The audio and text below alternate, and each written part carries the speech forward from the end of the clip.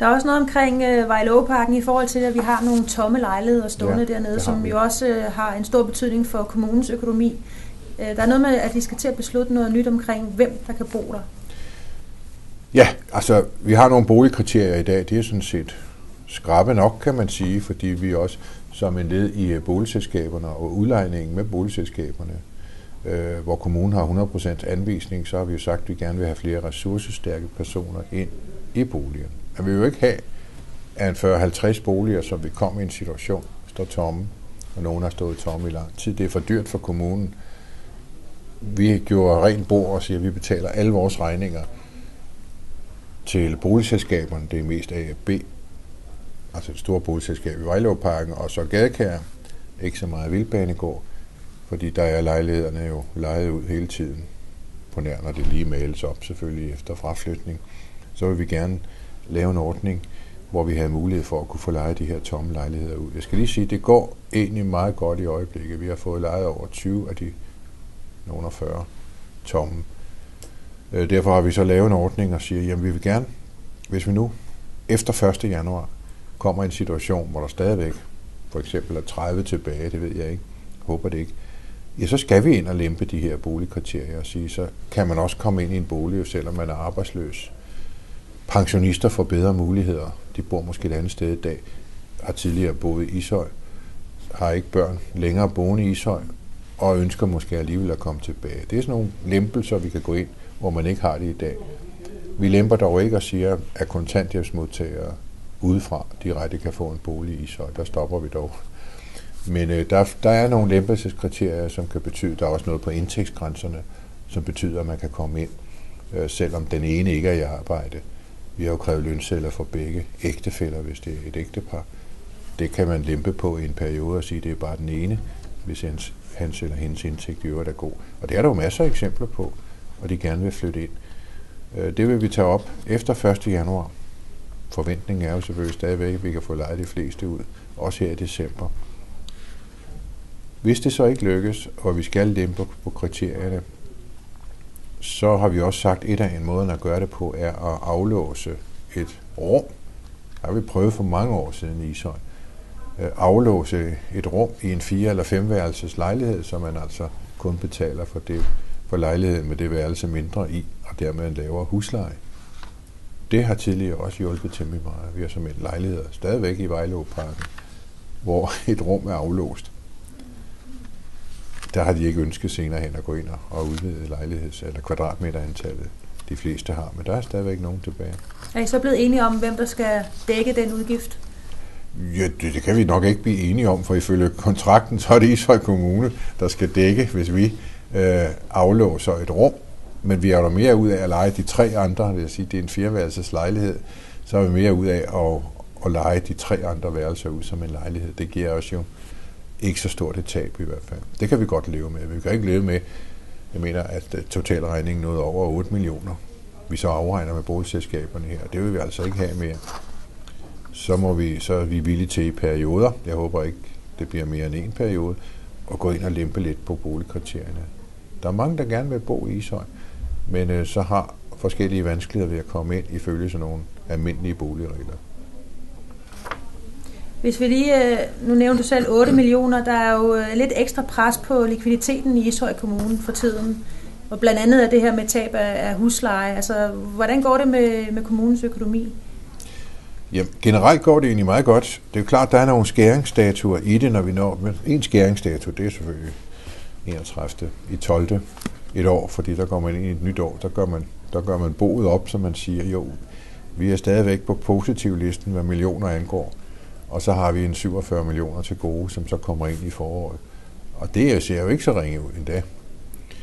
Øh, det er noget med grundsalg, som først kommer ind i januar og februar måned. Det er hele stationsforpladsen, hvor vi har 25 millioner til gode. Men de bliver ikke udbetalt før øh, lejlighedsopførelsen dernede i februar måned bliver godkendt af endelig af byrådet. Og sådan er der, hænger det jo sammen. Så kommer pengene jo ind ganske automatisk. Der er noget nede i havnen også. Så det er jeg ikke så nervøs for. Fordi det vil sige, at du har en, kører med en likviditet på et sted mellem 40 og 50 millioner konstant. Så der er ikke sådan nogen, øh, noget på tale om, at man skal genåbne budgetter og finde flere besparelser? Ja, vi skal altid under alle omstændigheder kigge på det. Du ved, hvad der er sket i år, at vi genåbnede i foråret. 22 millioner kostede det, og vi lavede budgettet her for ikke så længe siden i oktober måned. Det kostede 22 millioner til. Så alt i alt holdt vi igen med 44 millioner. I år, jeg ved godt, det sidste var øh, af, af vedrørende budget 11, men øh, det havde været rart, hvis det ikke var sådan.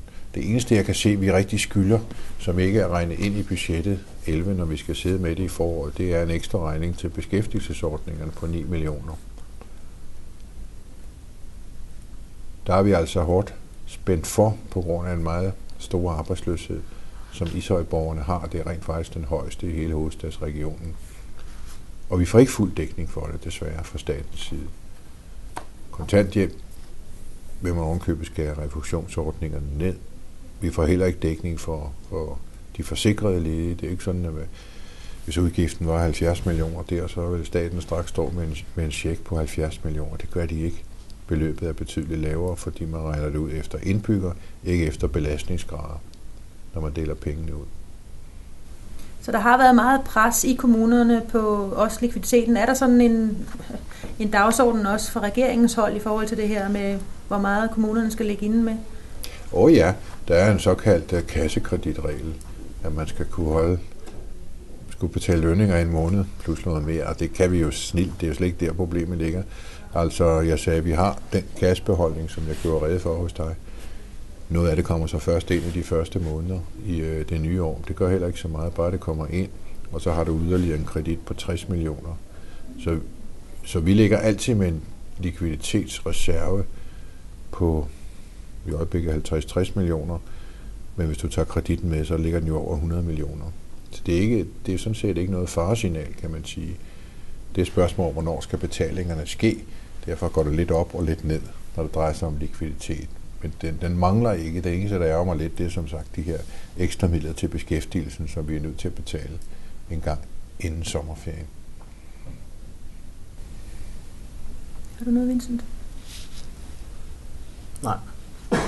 Okay, så hvis vi tager et andet punkt, øh, som I også skal tale om, så er det, at der er et punkt, der hedder Vækstforum Hovedstadens Erhvervsudviklingsstrategi.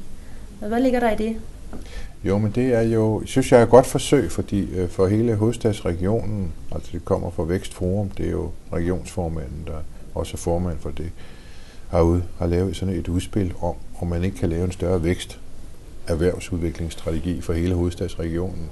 Det ligger der så et oplæg om. Det synes jeg er ganske udmærket. Det er meget omfattende, men det kører meget på vækst, både i virksomheder, men også med at udvikle forskellige serviceområder.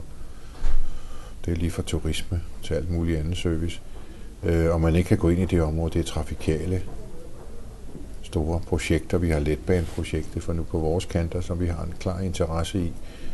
Der er en af endestationerne jo skal være her. Og det er, det er nogle meget dyre projekter, som der bliver givet heldigvis støtte til. Alene i dag spytter Realdania jo godt i kassen med forskellige millioner. Øh, senere i eftermiddag kan de offentliggøre det.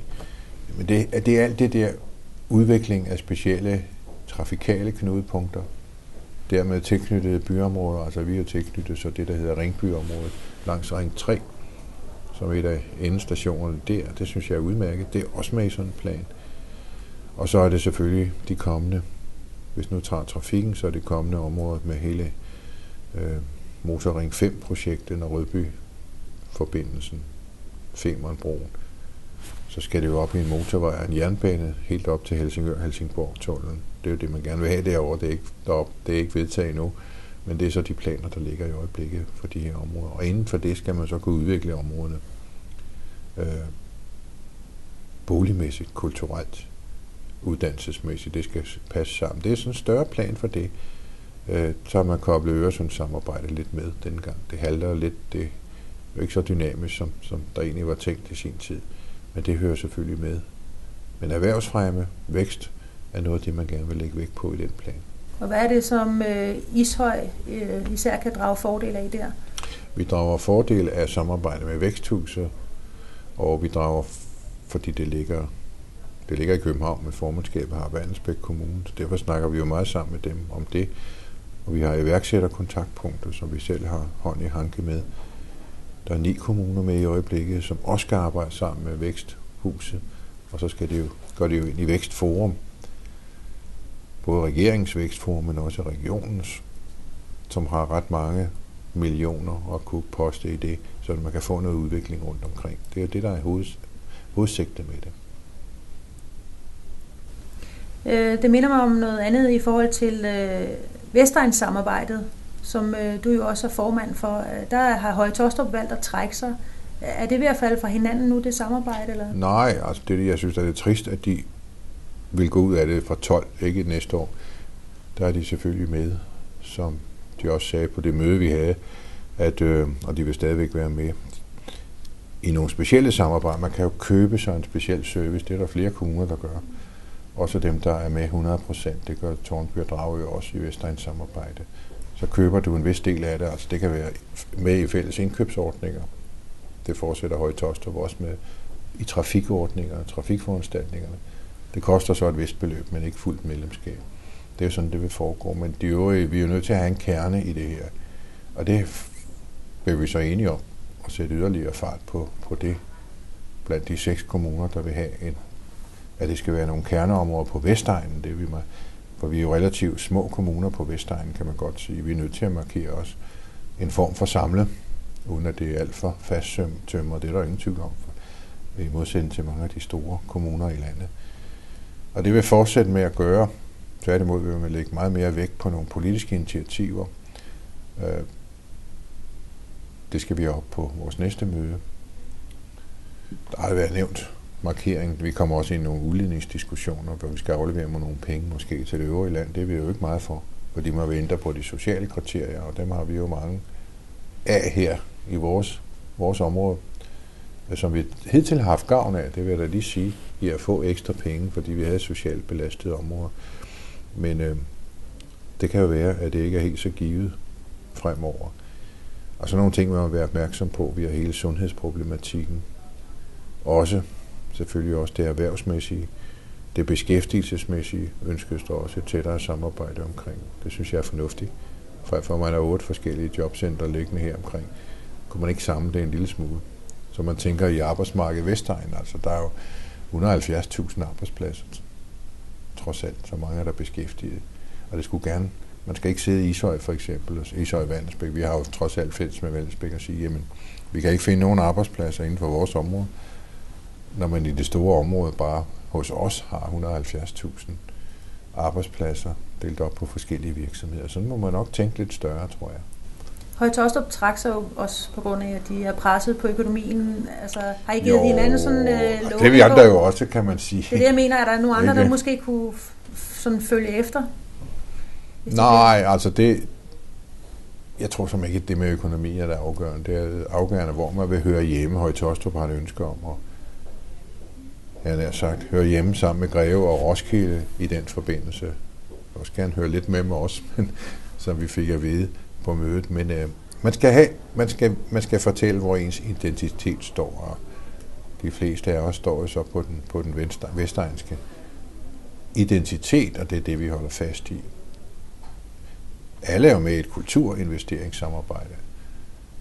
Øh, også Rødovre, som også heller ikke var med så mange år, de er dog med i det kulturelle. Vi har en halv million i fonden til næste år, så man kan begynde at lave noget som Vestegn sam samarbejder, også på det kulturelle område. Jeg kunne da have nævnt et godt eksempel for dig, fordi hvis vi har haft i den kulturelle fond, i år, hvad vi så ikke har, det er først til næste år, at pengene kommer ind, de der halvanden million, så kunne vi jo have holdt Melodi Grand Prix i Brøndbyhallen og så videre. Det fik, fik rigtig faktisk tilbudt, men vi havde ikke pengene. Så om det så har været en god idé eller ej, det ved jeg ikke, men altså det viser, at du skal op i lidt større helikopterperspektiv. Og det kan kun kredse kommuner eller store kommuner gøre. Og her på egnen må vi så gå sammen med andre. Det synes jeg er udmærket. Så kan du godt få lov at lave noget stort og flot, men du skal jo medfinansiere. Det kunne vi så ikke på det tidspunkt. Er der flere spørgsmål? Så siger vi tak for nu. Tak.